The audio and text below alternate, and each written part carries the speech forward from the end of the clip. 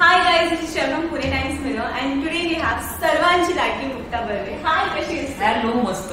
आणि पुणे टाइम्स मिररला सगळ्यात थँक्स कारण जेव्हा कुठच्या तरी चांगल्या गोष्टीसाठी आम्ही काहीतरी करत असतो तेव्हा तुमचा सपोर्ट कायम आमच्या बरोबर असतो. सो थँक्यू की हा Thank you. प्लॅटफॉर्म आपण याच्यावर बोलू शकतो आणि गप्पा मारू शकतो.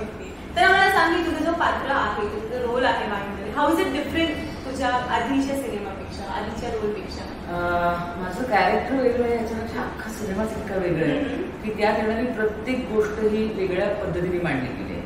Basically it's hyper link thriller okay so मराठीमध्ये याच्या आधी असं स्ट्रक्चर असलेला सिनेमा नाही आला. हायपरलिंक थ्रिलर म्हणजे मॅक्सिमम लोकांना माहिती असतं कारण आता आपण बऱ्याच इंटरनॅशनल प्लॅटफॉर्मवरच्या बऱ्याच गोष्टी बघतो. पण तरी सुद्धा ज्यांना माहिती नाही त्याच्यासाठी पटकन सांगते की एका टाइमलाईन मध्ये अनेक गोष्टी चाललेल्या असतात आणि फायनली त्या एका ठिकाणी मर्ज होतात आणि पुढे काहीतरी घटना घडते. सो ते जिथे मर्जिंग होतं आणि तिथून गोष्ट जी पुढे जाते ते जो थ्रिलर त्यातला एलिमेंट आहे ते पुढे जाण्याचं पात्र माझं आहे. आणि शेवटचं सिक्वेन्स ज्याच्याविषयी आता बोलू शकते कारण बऱ्याच प्रेक्षकांनी ती बघितली अं, कुत्र्यांबरोबरचा एक सिक्वेन्स होता. ओके.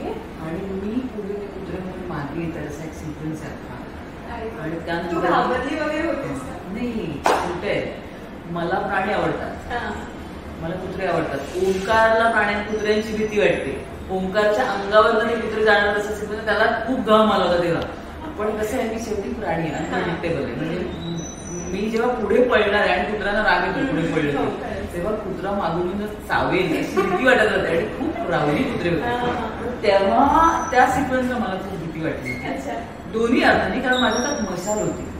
सो मशाल मी फिरवते आणि मला फार वाईट वाटतं कारण कुत्रे प्रेमळ असतात. म्हणजे काय अनकंडिशनल लव्ह प्राणी करू शकतात तुमच्यावर. तर त्या प्राण्यांवर मी मशाल रोखते याचं मला फार वाईट वाटतं. फॅन्स तुझ्या ऑडियन्स तुझ्या अपकमिंग शोजबद्दल किंवा अपकमिंग प्रोजेक्टबद्दल काय सांगितलं येस शुअर आता माझी आणखीन एक फिल्म रिलीजला तयार आहे.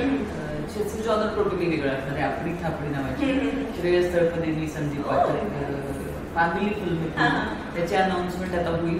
नंतर मी आता एक स्टेज शो करते तू थिएटर पण सुरू केलं पाच साडेपाच वर्षानंतर मी थिएटरमध्ये येते आणि पीपल आर सो एक्साइटेड त्याचे दोन शोज आम्ही ऑलरेडी गेले दोन्ही हाऊसफुल शो गेले प्रिय भाई एक कविता हगे नावाचा तो शो आहे त्याचा दोन जुलैला परत पुण्यामध्ये प्रयोग होतोय.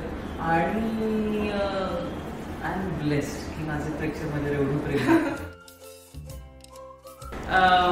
एक मनापासून कळकळीची विनंती आग्रह किंवा प्रेमाने हट्ट असं म्हणा. तुम्ही माझ्यावर भरभरून प्रेम करता. माझ्या अनेक नवनवीन वेगवेगळ्या भूमिका नेहमी स्वीकारता.